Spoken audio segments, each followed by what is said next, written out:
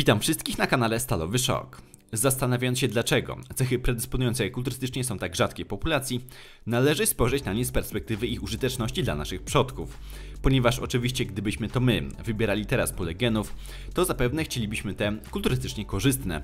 Natomiast parę tysięcy lat wstecz zapewne podjęlibyśmy zupełnie przeciwną decyzję. Innymi słowy cechy, które chcielibyśmy posiadać teraz, żeby wpasować się w sylwetkowy obraz ideału ciała, w dalekiej przeszłości zmniejszały szanse na przekazanie swoich genów potomstwu. Będę tu rozpatrywał kwestie budowy masy mięśniowej, struktury szkieletu i gromadzenia tkanki tłuszczowej, co myślę na potrzeby odcinka będzie wystarczające jako całokształt predyspozycji. Zacznę od kwestii zdolności do uzyskiwania masy mięśniowej. Poruszyłem ten temat w materiale na temat konsekwencji zdrowotnych, jakie niesie za sobą uprawianie kulturystyki na ekstremalnym poziomie, ale tutaj spróbuję się bardziej w to zagłębić. Myślę, że o genie MSTN, który koduje u ludzi białko miostatynę, słyszał w tym momencie praktycznie każdy, a sama miostatyna występuje u wielu różnych zwierząt.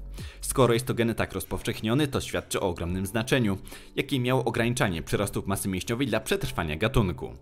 Przede wszystkim kluczowe wydaje mi się to, że duża masa mięśniowa jest bardzo nieekonomiczna i im jest większa, tym wymaga większego wydatku energetycznego. Właśnie dlatego najwięksi kulturyści mogą wrzucać w siebie tonę jedzenia i nie zyskiwać tłuszczu, podczas gdy przeciętny człowiek na takiej diecie stałby się otyły. Im ktoś posiada więcej mięśni, tym więcej energii zużywa na każdą czynność, ale także na po prostu funkcjonowanie, nic nie robiąc. O ile w dzisiejszym świecie, w krajach na przyzwoitym poziomie, problemem jest co najwyżej nadmiar pożywienia, to w czasach naszych przodków było dokładnie przeciwnie. W sytuacji ograniczonego dostępu do jedzenia, gdzie jego trzymanie było istotnym czynnikiem decydującym o przetrwaniu, ten kto potrzebował go więcej był na straconej pozycji. Innymi słowy osobnik, który działał bardziej oszczędnie energetycznie, czyli mniej umięśniony, miał tu niewątpliwą przewagę i istniało większe prawdopodobieństwo, że to jego pula genów zostanie przekazana potomstwu. Wystarczy spojrzeć jak zgrabnie poruszają się na scenie 120 czy 130 kg zawodnicy, by wywnioskować kolejne negatywne implikacje idące w parze z bardzo dużą masą mięśniową. Ograniczenie mobilności, szybkości i wytrzymałości nie ma dużego znaczenia obecnie, natomiast wcześniej były to cechy dla przetrwania kluczowe. Nie bez powodu zawodnicy przed chociażby walką starają się pozbyć nadmiaru masy mięśniowej, żeby utrzymywać siły przez dłuższy czas. W poprzednim materiale pokazałem dla porównania zdjęcie szympansa pozbawionego sierści, żeby zauważyć różnicę między tym gatunkiem a ludźmi w predyspozycjach do budowy masy mięśniowej. Wymieniłem tam te same wady, jakie przedstawiłem do tej pory. Jeden z komentujących zapytał, dlaczego w takim razie ewolucja pozwoliła szympansom na taką muskularność. Oczywiście mięśnie mają swoje zalety i tam gdzie wymagana jest siła, czyli przykład w bezpośrednim pojedynku, zapewne wygra osobnik bardziej umieśniony, czyli silniejszy fizycznie. Myślę, że nikt o zdrowych zmysłach nie podjąłby się walki bez żadnego uzdrowienia z szympansem, który od człowieka jest półtora razy silniejszy. U większości ssaków, w przeciwieństwie do człowieka, dominują włókna szybko kurczliwe, czyli zapewniające dużą moc, ale na krótki okres czasu. Ludzie dzięki wykorzystaniu narzędzi nie musieli bazować na swojej sile fizycznej, ponieważ nadrabiali ją właśnie wykorzystaniem sprzętu. Natomiast przydatna to była wytrzymałość pozwalająca przemieszczać się bez zmęczenia na duże odległości.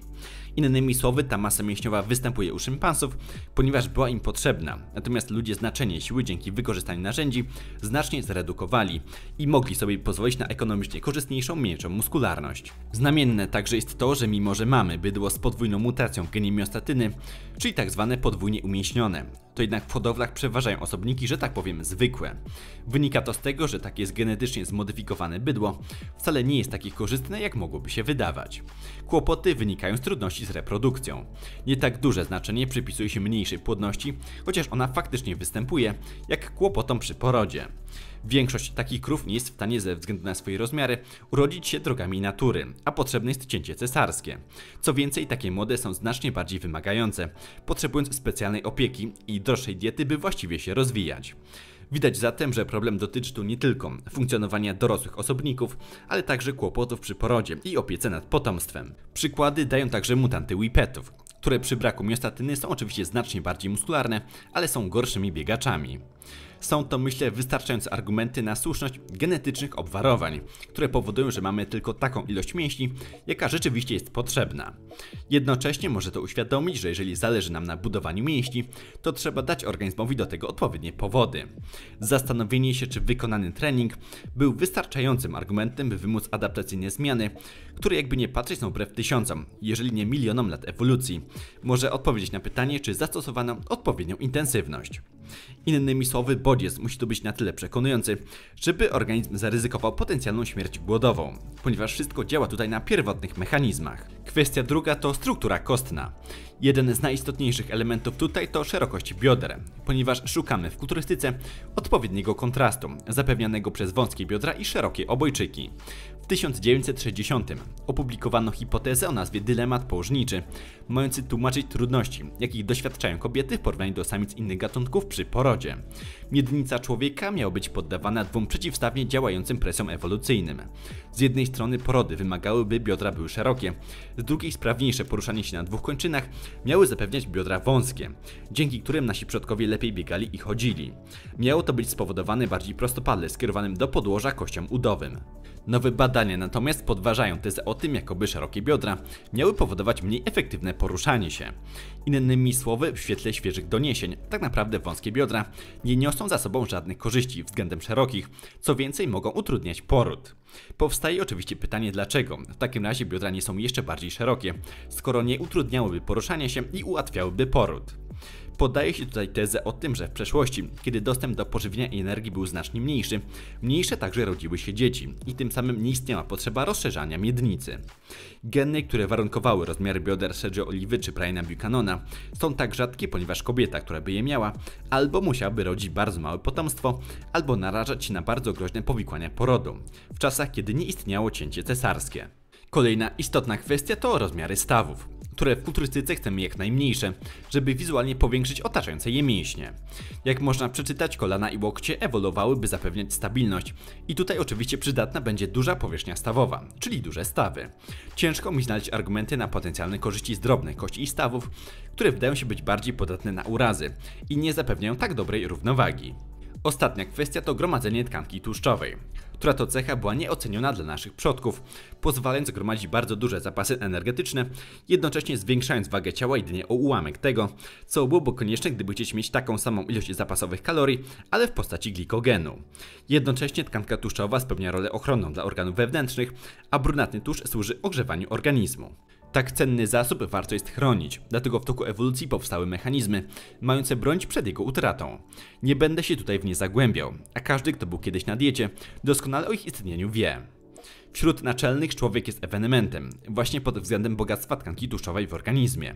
O ile przeciętny szympans posiada mniej niż 9% tłuszczu, u ludzi jest to średnio od 14 do 31%.